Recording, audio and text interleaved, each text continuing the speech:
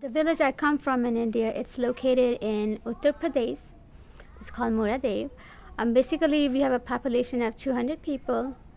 So, but we don't have any centralized uh, garbage picking.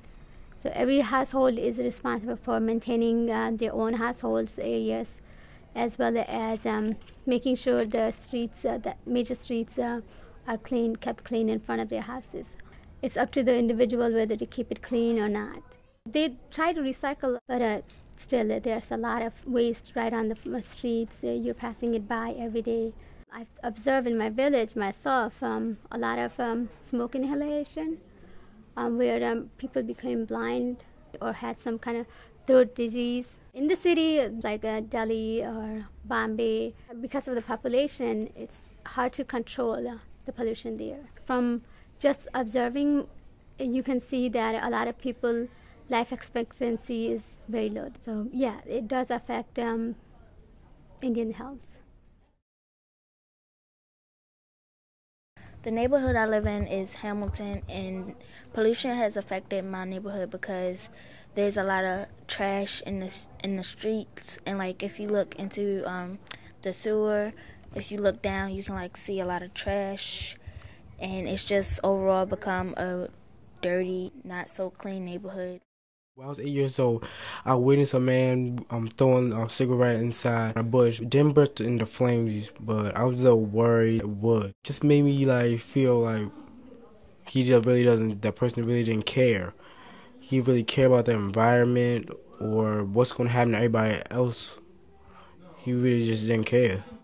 I think I let it because it's kind of like everybody else doesn't care. So sometimes I think to myself, why should I care? I used to when I was younger, but now I understand more about pollution and littering and how it affects our environment, so I've stopped. The way that pollution is looking now in Baltimore, like nobody that you know really wants to be here. I'm from New York, the borough of Queens. Here in Baltimore, I notice you don't have anything when it comes to littering or pollution. I live in a complex, and all my garbage goes in one big, like, container, and that's it. There's no rules or nothing. You just throw it away, and it just gone. In my opinion, it's a little bit worse here. In New York, they're really trying to contain it because they have a, like I said, they recycle everything, and if you don't, you're basically breaking the law when it comes to New York. Here, there is no law to sit there and say you have to do it. Not yet, at least.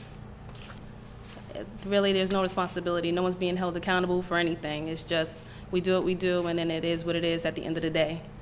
If people were held accountable for what they do, then maybe they'd actually start caring and actually start doing something about it, and then it might make things a little better.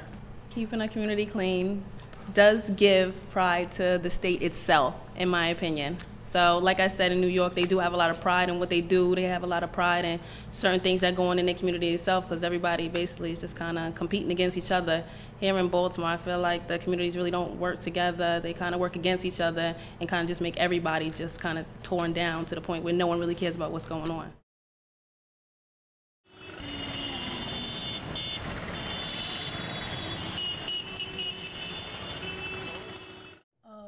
Hey, this is DeAndre. I'm here with Nicole.